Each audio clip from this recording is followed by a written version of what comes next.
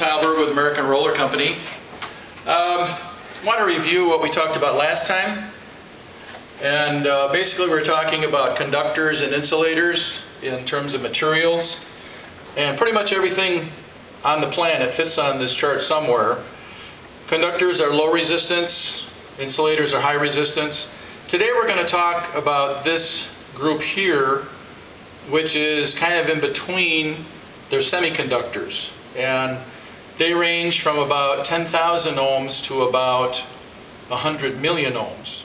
Static electricity is a big problem in the converting industry.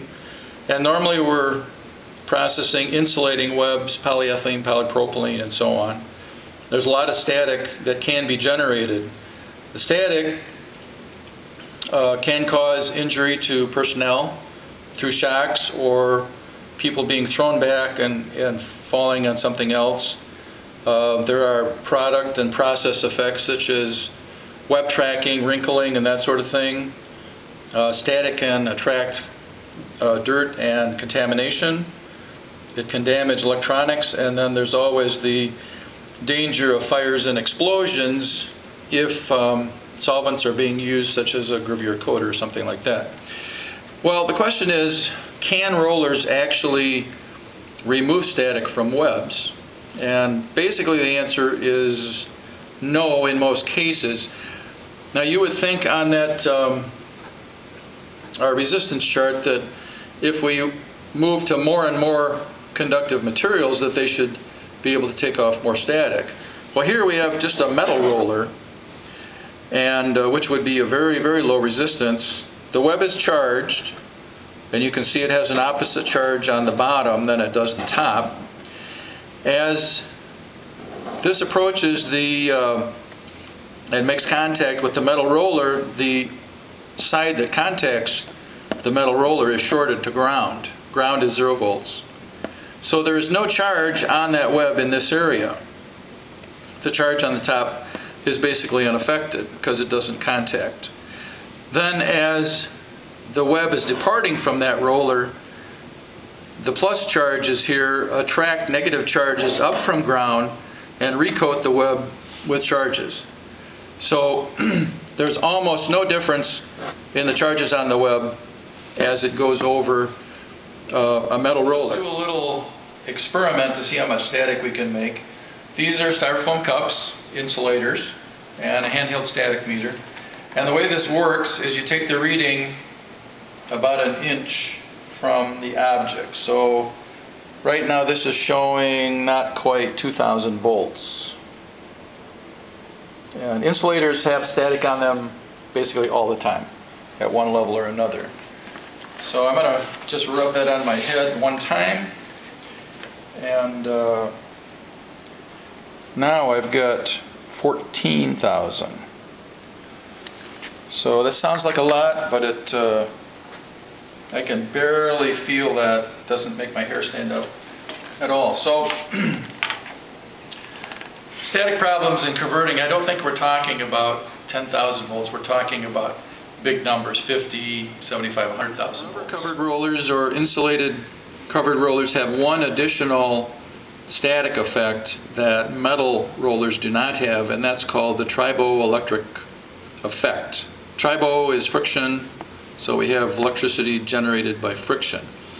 So as our insulating web, which in this case we're assuming it's not charged, it's kind of unrealistic, but just for example, it's not charged. And as it contacts the rubber, or whatever this is, there's a transfer of electrons based on the chemical structure of the two materials. Some materials want to gain electrons, others want to lose electrons. So in this case, the rubber is gaining electrons. It ends up being negatively charged. The web ends up being positively charged. So if the web is coming to the roller and it's negatively charged on the bottom where it's going to contact the rubber, this triboelectric charge that's generated as, by contact is actually going to neutralize.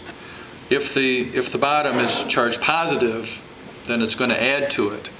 This is an example of what's called the triboelectric series. So the way this works is if you can take any two materials from this chart, press them together, pull them apart, measure the charge on each one. The one that's higher in the table is going to be char- positively charged, and the one lower is going to be negatively charged. And then the distance between the two materials, the farther they are apart, the more charge is going to be generated. There's a lot of these charts that are available on the internet. Unfortunately, um, there's a lot of discrepancies between the different sources. Some will have one material at the bottom and a different one will have the same material at the top. Even though rubber rollers uh, cannot eliminate static problems on webs, they are useful uh, to help control it. They're part of the static control puzzle in combination with other uh, non-roller methods such as tinsel and active ionizers and so on. We have a family of which we call Limostat here at American Roller that are uh, electrically conductive materials and uh, we have them in various hardnesses and polymers and conductivity ranges. Uh, please contact your American Roller representative if you need to talk about those. So static is a big problem in the converting industry. It uh, dangerous to personnel, shock hazard.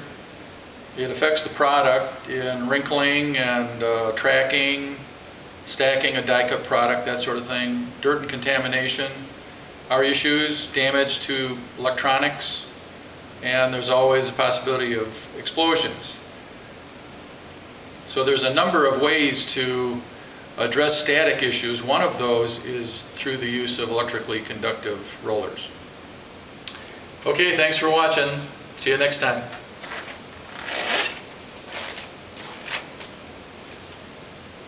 There you go, Sparky.